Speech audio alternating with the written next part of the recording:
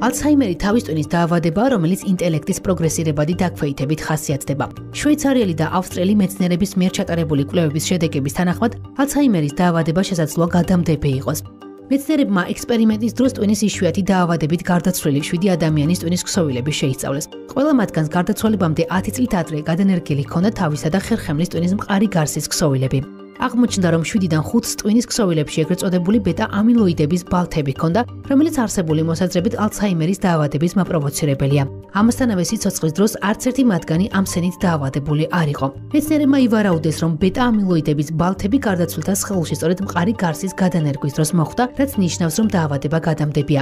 კვლევარებმა ეს ვარაუდი კიდევ ერთი ექსპერიმენტით დაასაბუთეს, რადგანაც შეისწავლეს კრეიცფელდით იაკობით გარდაცვლილი 21 ადამიანის ტვინის ქსოვილები, რომელთათვისაც სიცოცხლის დროს ტვინის მყარი გარსი არ გადაუნერგავთ. აღმოჩნდა, რომ მათ ქსოვილებში ბეტა-ამინოიდის ბალთები არ იყო.